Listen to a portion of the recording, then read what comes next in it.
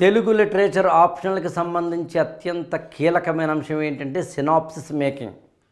ఆ మాటకు వస్తే తెలుగు లిటరేచరే కాదు మొత్తం ఐఏఎస్ ప్రిపరేషన్కే సినాప్సిస్ మేకింగ్ అనేది వెరీ ఇంపార్టెంట్. ఆ మాటకు వస్తే మీరు చెప్తే ఆశ్చర్యపోతారు. నన్ను చాలామంది అడిగే ఒక పాయింట్ ఒక క్వశ్చన్ ఏంటంటే సార్ మీరు ఇంత బాగా సరే మీరు బాగా ఎఫెక్టివ్గా స్పీచ్ ఇస్తారు కారణం ఏంటి? లేదా ఏది ఎప్పుడు చెప్పాలో అది అప్పుడే చెబుతూ ఉంటారు కారణం ఏంటి? లేదా ఒక స్పీచ్ ఇచ్చేటప్పుడు ఎగ్జాంపుల్ ఎప్పుడు చెప్పాలో లేకపోతే ఏదైనా చిన్న ఫన్నీ జోక్ ఎప్పుడు వేయాలో లేదా హఠాత్తుగా ఎమోషన్ తీసుకెళ్ళాలో ఇదంతా ఎలా సాధ్యమని. చాలామంది తెలియని రహస్యం ఏంటంటే నేను ప్రతి స్పీచ్ ఇచ్చే ముందు ప్రతి క్లాస్ తీసుకునే ముందు ఒక సినాప్సిస్ రాసుకుంటాను. అంటే వన్ అవర్లో నేను ఏం చెప్పాలనుకుంటున్నాను అనే దాన్ని ఒక చిన్న పీస్ ఆఫ్ పేపర్ మీద ఇది మీకు బోర్డు మీద కనిపిస్తున్నట్టుగా ఒక పీస్ ఆఫ్ పేపర్ మీద రాసుకుంటాను నేను. అలా పీస్ ఆఫ్ పేపర్ మీద రాసుకున్న దాన్ని నేను ఒకసారి మైండ్లో పెట్టుకుని దాన్ని డెలివర్ చేస్తాను. మీరు కూడా అంతే.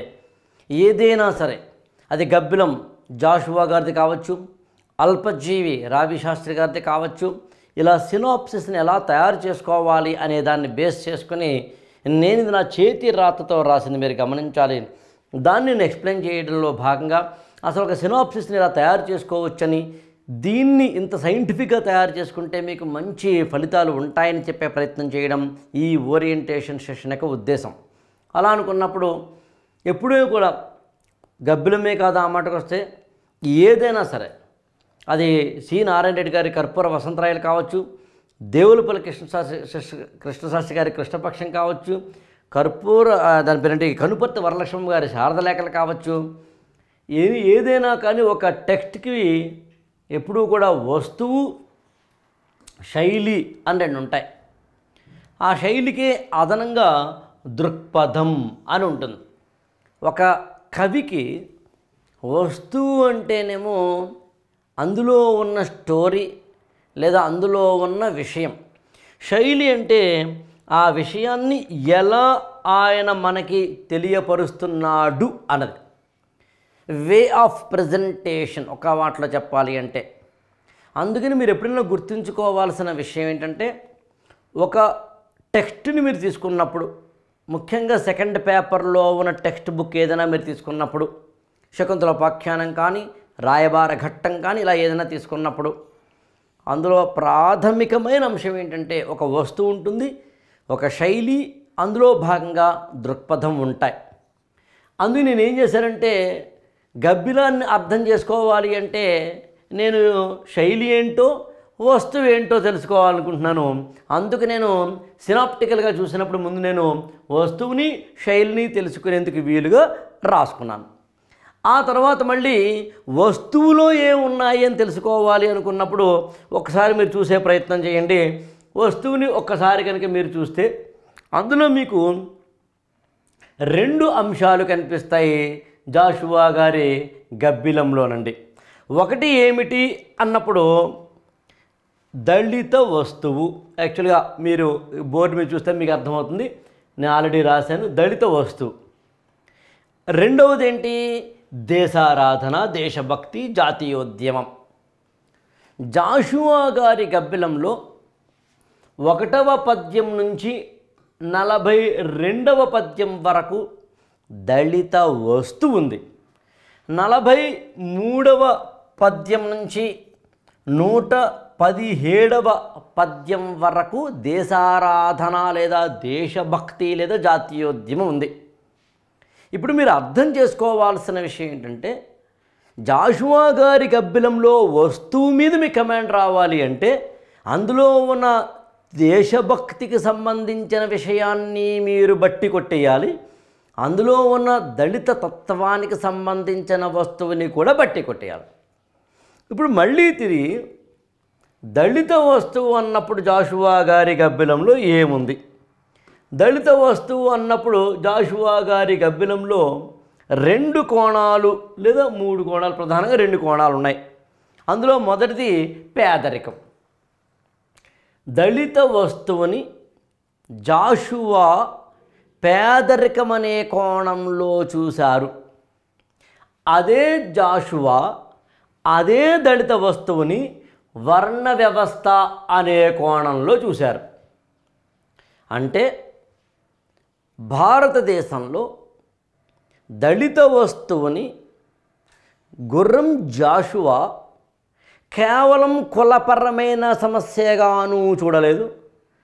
కేవలం పేదరికం అనే సమస్యగాను చూడలేదు. ఈ రెండింటినీ రెండు కళ్ళుగా చేసుకుని చూశారు.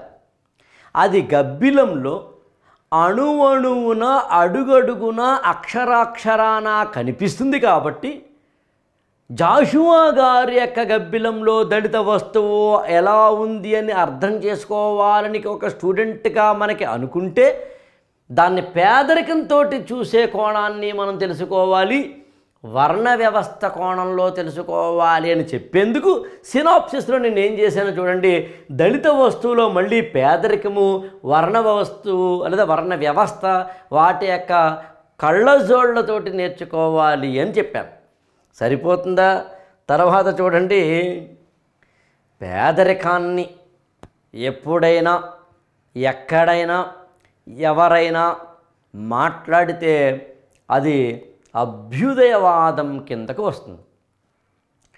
ఎవరైతే సమాజంలో పేదరికంలో ఉన్నారో బాధల్లో ఉన్నారో పేదరికం అంటే డబ్బులు లేకపోవడం దోపిడీకి గురి కావడం ఎవరైతే బలవంతులు ఉంటారో వాళ్ళు ఆర్థికంగా ఇంకా బలవంతులు కావడం జరుగుతుందో ఇవన్నీ దీన్ని అభ్యుదయవాదం అంటారు.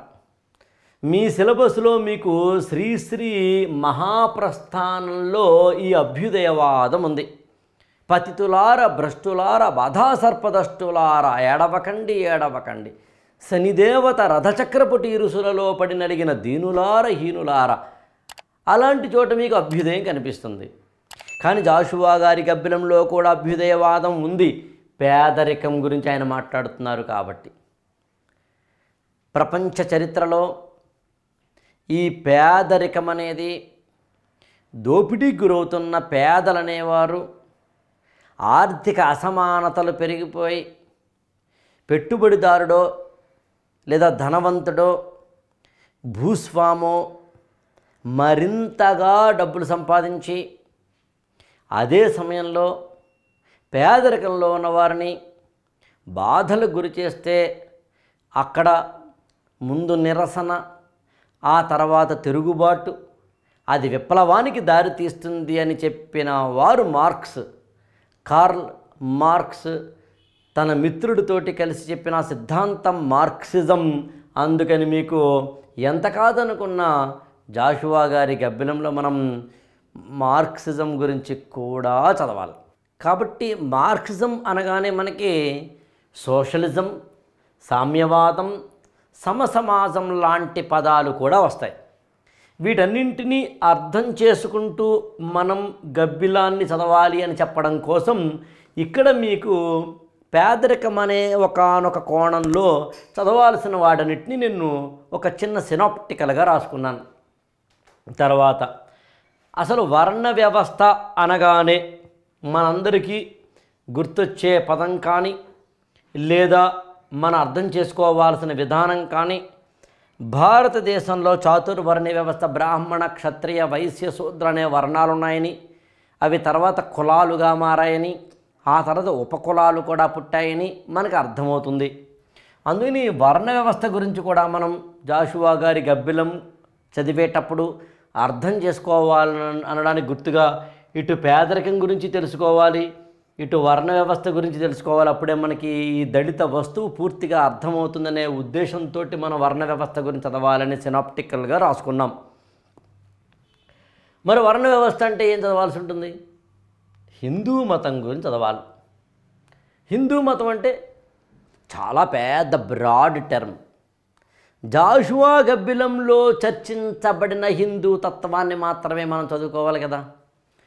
అప్పుడు దేవాలయ వ్యవస్థ అనేది జాషువా గారి గబ్బిలంలో ఇంపార్టెంట్ పాయింట్. ఎందుకంటే ఒక ఈశ్వరుడి గర్భగుడిలో ఉన్న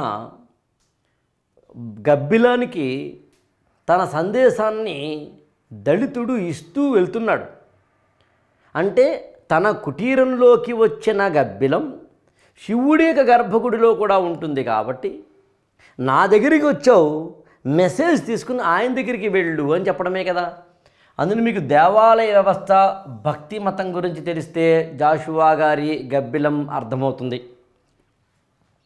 ఇక విశ్వాసాలు ఆచార సంప్రదాయాలు కర్మ సిద్ధాంతమున నా నోరు కట్టివేసి స్వార్థ పరులు నా భుక్తిని అనుభవింతురు అంటారు జాషువా.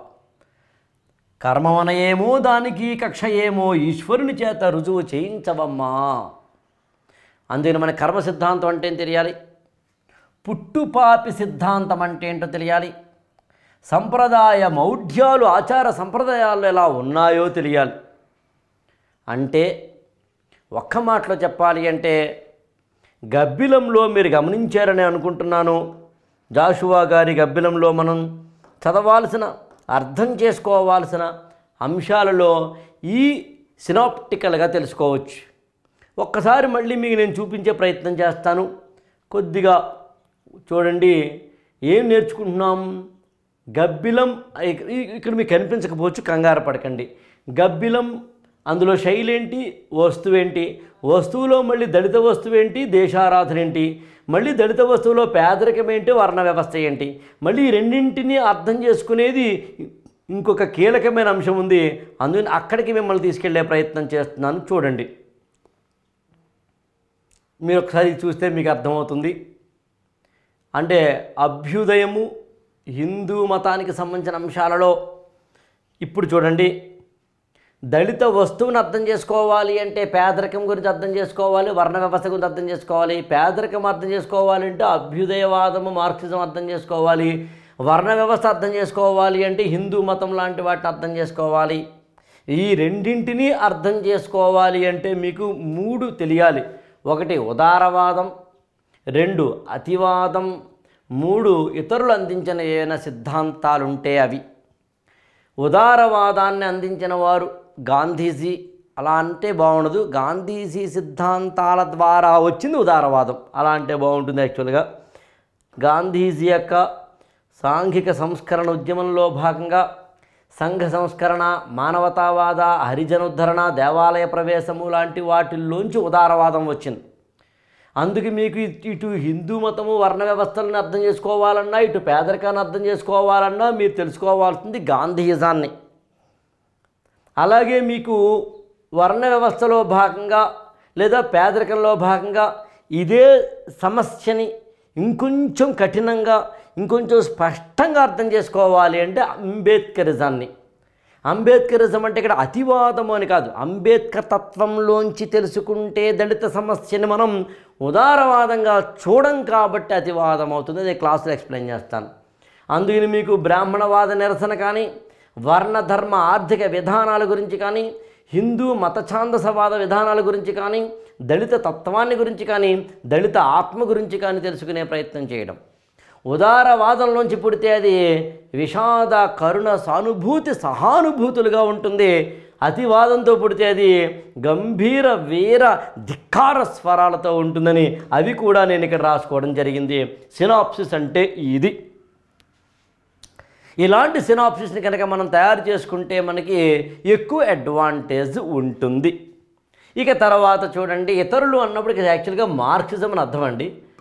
ఇక ఆల్రెడీ మార్క్సిజం మనం రాసుకున్నాం కాబట్టి ఇక్కడ ఇతరులు ఎవరైనా కావచ్చు. ఏముంది ఈవి రామస్వామి నాయకర్ అనే ఆయన మనకి అందించిన సెల్ఫ్ రెస్పెక్ట్ మూమెంట్ లాంటి వాటిలోంచి బ్రాహ్మణ వాద వ్యతిరేకత మీద వచ్చిన ఉద్యమాలు ఇలాంటివన్నీ యాంటీ బ్రాహ్మిన్ మూమెంట్ అంటారు ఇంగ్లీష్లో. అలాంటివి కూడా మనం తెలుసుకునే ప్రయత్నం చేయొచ్చు డిపెండింగ్ ఆన్ ద క్వశ్చన్ అందుని ఇతరులు అని రాశాను. ఇప్పుడు చూడండి మొత్తం ఇదంతా చదివితే మీకు ఈ పాటికి అర్థమైపోయి ఉండాలనుకుంటున్నాను. అది ఏమిటి అంటే టోటల్ పిక్చర్లో మీకు తెలియాల్సిందల్లా ఏంటంటే ఒక్క జాషువా గబ్బిలం అనే దాంట్లో ఉన్న దళిత వస్తువు గురించి తెలుసుకుంటున్నప్పుడు పేదరికం అంటే ఏంటో వర్ణ వ్యవస్థ అంటే ఏంటో అభ్యుదయవాదం అంటే ఏంటో దేవాలయ వ్యవస్థ అంటే ఏంటో ఉదారవాదం అంటే ఏంటో అతివాదం అంటే ఏంటో విషాద గంభీర కరుణ వీర రసాల సమన్వయం అంటే ఏంటో మీకు తెలుస్తుంది. ఇప్పుడు చూడండి ఇంత పెద్ద వస్తువు ఇందులో ఉంది యాక్చువల్గా తర్వాత యాక్చువల్గా కంగారు పడేంత లేదు చూడండి. గబ్బిలంలో ఉన్న రెండవ వస్తువు దేశారాధన. దేశారాధన అనేది నిజానికి నలభై మూడవ పద్యం నుంచి నూట పదిహేడవ పద్యం వరకు ఉంది. మీరు తెలుసుకోవాల్సిందల్లా ఏంటంటే దేశారాధన అంటే ఏంటో మనందరికీ తెలుసును దేశభక్తి అంటే ఏంటో మనందరికీ తెలుసును జాతీయోద్యమ కవిత్వం అంటే ఏంటో మనందరికీ తెలుసు. కానీ జాషువా గబ్బిలంలో ఎందుకు ఉంది ఎలా ఉంది అని తెలుసుడు చాలంతే. జాషువా గారి గబ్బిలంలో దళిత వస్తువు ఉంటే ఓకే. ఏంటంటే ఆయన దళిత నాయకుడు దళిత కవి ఆయన దళిత కులంలో పుట్టారు. ఆ అనుభవాలు ఉన్నాయి ఆ బాధలు ఉన్నాయి ఓకే. ఆ చెమట చిందించాడు ఆయన. కానీ దేశారాధన ఎందుకు ఉండాలి? ఎందుకంటే ఈయన ఇది పంతొమ్మిది వందల నలభైలో రాశారు. పంతొమ్మిది వందల నలభై అంటే భారతదేశంలో అత్యంత కీలకంగా క్విట్ ఇండియా మూమెంట్కి ఇంకో రెండేళ్ళ ముందు కథ అది. అప్పటికి భారతదేశ స్వాతంత్ర సంగ్రామం పీక్స్లో ఉన్న దశ. ఓ పక్కన దళిత జాతి ఎలాగైతే వేదన పొందుతుందో భరత జాతి కూడా వేదన పొందుతుందన్న విషయాన్ని గ్రమ గమనించిన ఒక అత్యద్భుతమైన కవి ఎవరయ్యా అంటే గుర్రం జాషువా. అందుకని గుర్రం జాషువా గారు నైన్టీన్ ఫార్టీన్ ఫార్టీలో రాసిన ఈ గబ్బిలమనే కావ్యంలో ఆయన ఏం చేశారు అంటే దేశభక్తిని కూడా ఇమిడ్చారు అది ఎందుకు అనే దానికి సమాధానం. ఎలాగంటే చారిత్రకత ద్వారా. హిస్టారికల్ పెర్స్పెక్టివ్లో ఒక అత్యద్భుతమైన పెట్రియోటిక్ సిస్టమ్ని ఇవ్వడమే జాషువా గారి గబ్బిలంలో చేసింది. అది ఎలాగా అనేది క్లాసులో చెప్పుకునే ప్రయత్నం చేద్దాం. ఆ తర్వాత మిగిలిందేంటి? ఇలాంటి వస్తువుని ఎలా చెప్పారని తెలుసుకోవడం. అంటే శైలి దృక్పథం అవుతుందన్నమాట. అది ఎలాగో తెలుసుకుందాం. శైలి దృక్పథం అంటే ఒక్కొక్క కవికి ఒక్కొక్క రీతిలో చెప్పాలి అనిపిస్తుంది. సినిమా డైరెక్టర్లు ఒక్కొక్క స్టోరీని ఒక్కొక్క రూపంలో తెలియజేస్తారు. కె విశ్వనాథ్ ఇదిగో ఇలా. కె రాఘవేంద్రరావు ఇదిగో ఇలా. రాజమౌళి ఇలా. వివి వినాయక్ ఇలా. ఏదో శ్రీను ఎవరో నాకు గుర్తు హఠాత్తుగా. దూకుడు సినిమా డైరెక్టర్ శ్రీను వైట్ల ఇలా. బోయపాటి సీను ఇంకోలా ఇద్దరు సీన్లే. ఇలా ఒక్కొక్కటి ఒక స్టైల్. ప్రతి కవికి ఒక స్టైల్ ఉంటుంది. ఆ స్టైల్ని తెలుగులో శైలి అంటారు. ప్రతి కవికి ఒక ఎప్రోచ్ ఉంటుంది. దాన్ని దృక్పథం అంటారు. ఒక్క ప్రతి ఒక్కరికి ఒక ఎప్రోచ్ ఉంటుంది. అలా జాషువా గబ్బిలంలో ఉన్న శైలి ఏంటి? దృక్పథం ఏమిటి? ఆయన దీన్ని పద్య కావ్యంగా రాయాలనుకున్నారు. సరే ఎందుకు అనేది కూడా క్వశ్చన్ వస్తుందండి. అది ఇక్కడ చెప్పాలంటే కొంచెం టైం పడుతుంది. అలాగే క్లాసులో చెప్పుకుంటాను నేను. అలాగే ఆయన సందేశ కావ్యంగా రాయాలనుకున్నారు.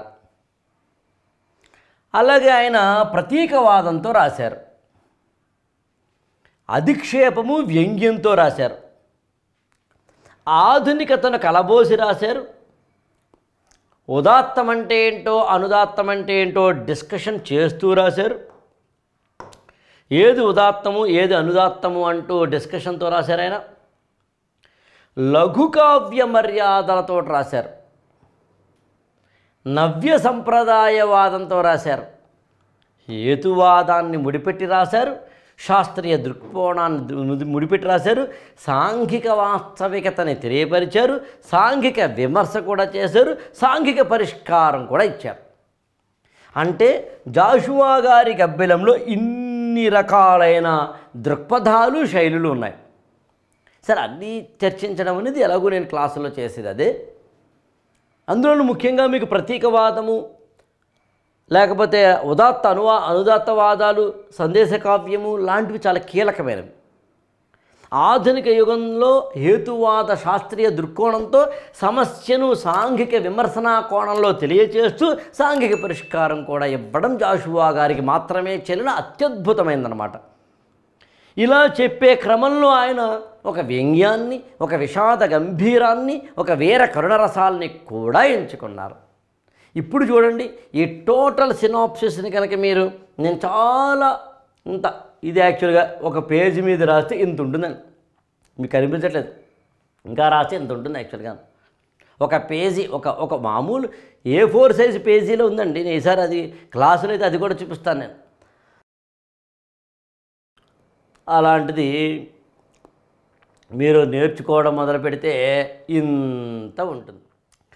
ఇట్లా ఒక గబ్బిలమనే కాదు రావిశాస అల్పజీవైనా మరొకటైనా కానీ ఇట్లా మనము ఒక సినాప్టికల్గా కనుక తయారు చేసుకుంటే టోటల్ కంటెంట్ని ఒకే ఒక పేజీలోకి తీసుకొచ్చి దాన్ని మెమొరైజ్ చేసుకోవడం ద్వారా ఎంటైర్ కంటెంట్ దాదాపు ఇరవై ముప్పై పేజీ నోట్స్ని మనం రిట్రీవ్ చేసుకున్న వాళ్ళం అవుతాం. ఇది సినాప్సిస్ని తయారు చేసుకునే విధానం దానివల్ల వచ్చే ప్రయోజనాలు.